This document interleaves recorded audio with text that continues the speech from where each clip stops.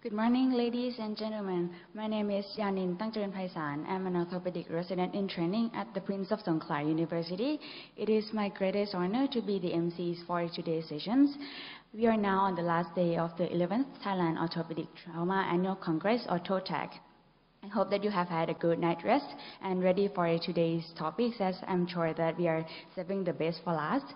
And without further ado, I would like to introduce our moderators for the first sessions along and around peri-implants and peri-prosthetic fractures.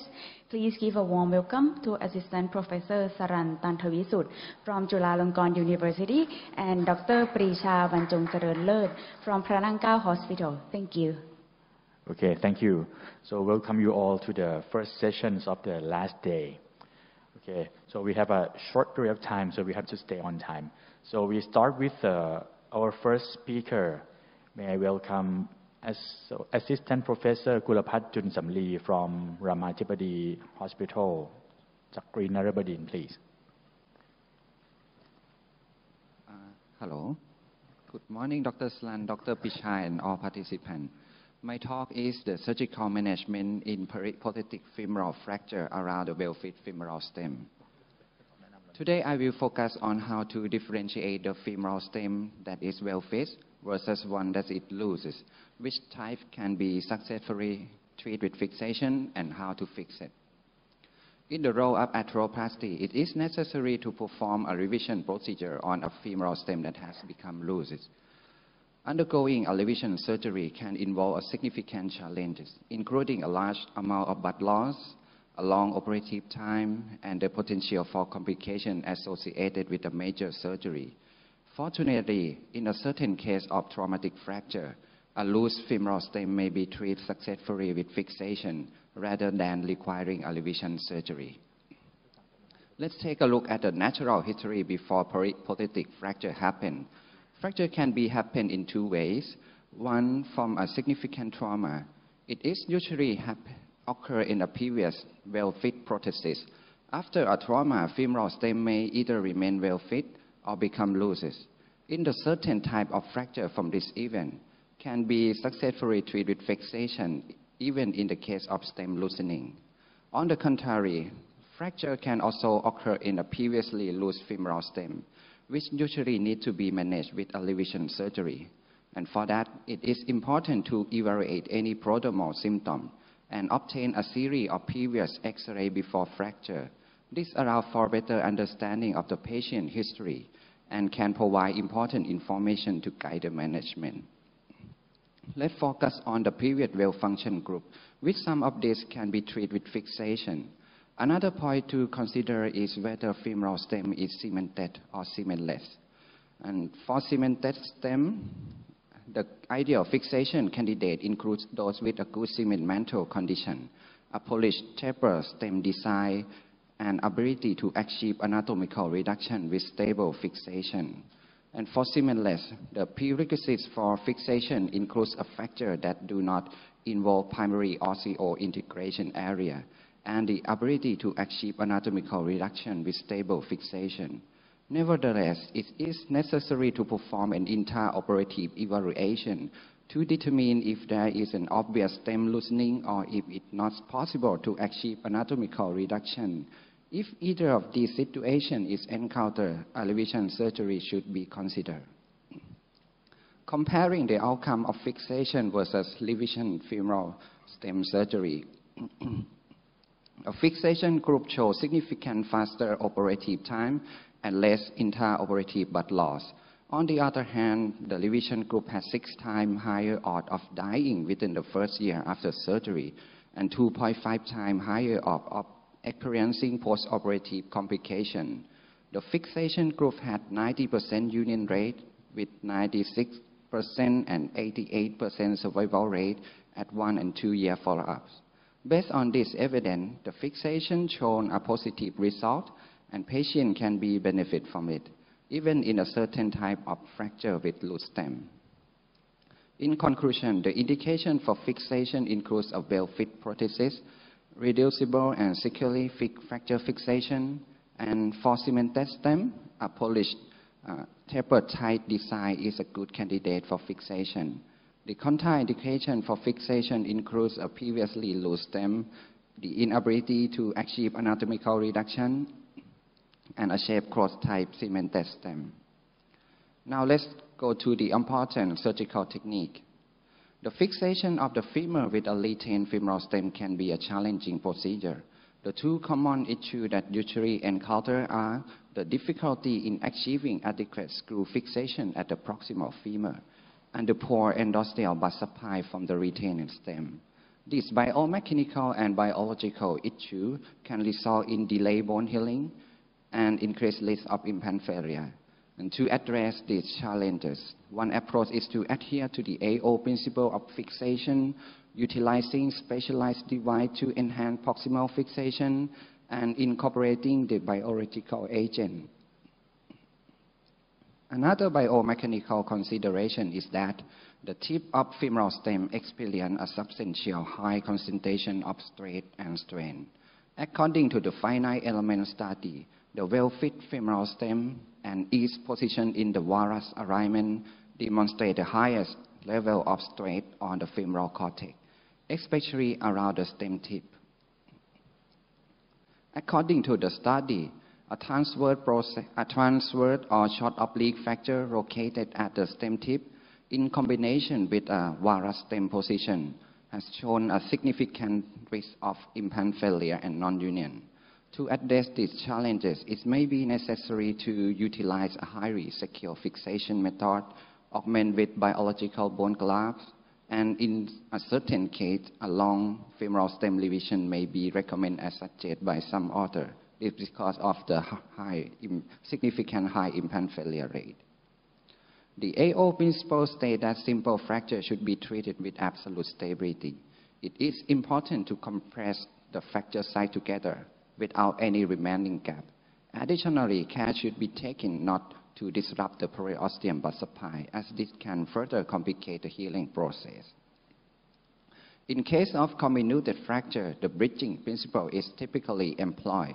This involves using a plate with adequate working length, ensuring that no screw zone is maintained for a distance of couple times of the width of the femur, and utilizing the plate length that span to protect the whole femur. Additionally, a paste screw density of 0.5 is recommended. A screw should be placed beneath the stem tip to help reduce the strain in this area. There are specialized devices designed to enhance proximal fixation. The locking attachment plate. The locking attachment plate is a small spider plate that is attached to the main block LCP. This allows for the use of 3.5 millimeter locking screw with the capacity to accommodate up to 8 screws. Next, the periprosthetic plate. The periprosthetic plate is designed to allow for the insertion of the screw in multi-directional trajectory. This plate can accommodate in both locking screw and locking screw cap. Next are the cable and cerclage wire system. When compared to the cerclage wire, the cable system with cable tensioner exhibit a higher load to failure.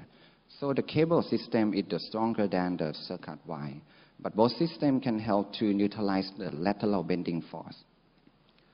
A biomechanical study had shown that both screw fixation alone or a and a combined screw cable system provide the highest resistance to lateral bending and torsional forces. On the contrary, the cable or cerclage wire alone represent the weakest construct and should generally be avoided. The conclusion from the study, it is recommended that bicortical screw fixation should be used whenever possible. The use of cable and cerclage system in conjunction with the plate can enhance the screw pull out. However, the use of cable and wire fixation as a standalone technique should be avoided. Furthermore, to distribute the stress and strain, the plate should cover the entire length of the femur. Most importantly, anatomical reduction of the fracture is crucial. Let's take a look at the case example. A 60 years old female who had a total hip for six years was involved in a car accident. The X-ray revealed a Vancouver type B comminuted fracture located ar around the femoral stem, as well as a cement fracture in zone 3 and zone 5 it is still uncertain whether to manage by fixation or revision surgery. From the CT scan, the cement mantle remained adherent to the femoral stem at all zones without any loss of cement mantle fragment. The fracture pattern was a long oblique uh, with a large butterfly fragment, so it is considered to be uh, possible fixable. Now let's review the checklist. This patient has uh, previously functioned well without any pain. The hip implant consists of a polished taper cemented type stem, and there was an intact cement mantle and no cement mantle fragment loss. There was a chance of achieving anatomical reduction. Therefore, the decision is to perform a fixation surgery. The fixation procedure was carried out using a bridging principle. The broad LCP plates utilized to protect the entire femur. The proximal fixation was reinforced by two locking attachment plates, and the cerclage wire was used as additional fixation. During the third year follow-up, the X-ray revealed a fully united bone, and the femoral stem appeared to be well fit, without sign of femoral stem loosening. Another case, a 77 years old female had left thigh pain following the minor fall. From the the fracture was detected at the stem tip, which subject to high level of strain and strain in this area. The fracture pattern was transverse laterally and a short oblique on the medial cortex. There was also evidence of lateral cortical weakening is observed. The history taking revealed that the patient has been taking bisphosphonate and steroid for a period of 14 years for treating her osteoporosis and SLE. The diagnosis in this patient is the periprosthetic atypical femoral fracture, a special condition that can lead to extremely delayed union and very high implant failure rate.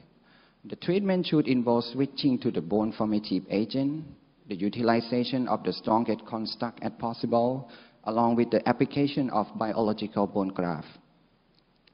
The treatment in this patient was broad LCP with locking attachment plate. Unfortunately, a typical femoral fracture was not detected during the initial diagnosis, so the bone graft and uh, switching therapy to the bone formative agent was not carried out. And finally, the patient was failed as foreman after the first surgery. During the second operation, the plate was replaced with a longer one, and the utilization of DBM in combination with iliac bone graft and teriparatide, the fracture was uh, united almost completely at three months after second surgery. At three years, it showed completely union without sign of femoral stem loosening. So the conclusion from my talk, the cemented stem consider fixation in a polished taper cemented stem design, intact cement mantle, normal hip function before fracture, and fixable fracture. For cementless stem, consider fixation in fracture that does not involve the primary osseointegration area and fixable fracture. Always follow AO principle of fixation. Periprosthetic fixation device along with the bone graft should be utilized. Bicortical screw is the strongest one. Please avoid using cable or cerclage wire as a standalone technique for fixation. And beware periprosthetic atypical femoral fracture. Thank you. Thank you very much, Dr. Kulapat.